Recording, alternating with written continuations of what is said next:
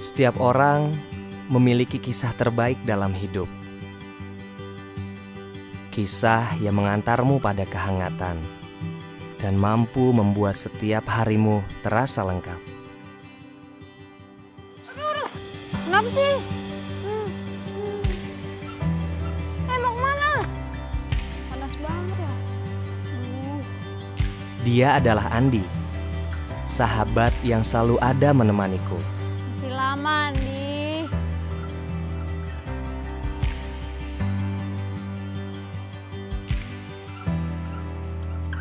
dan yang selalu mengejekku.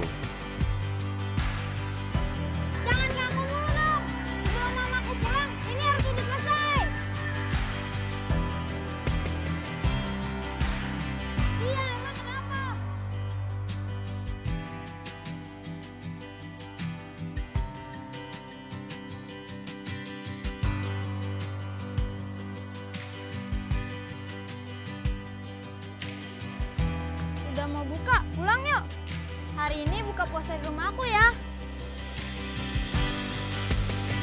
Dari dia, aku banyak belajar untuk selalu bersyukur.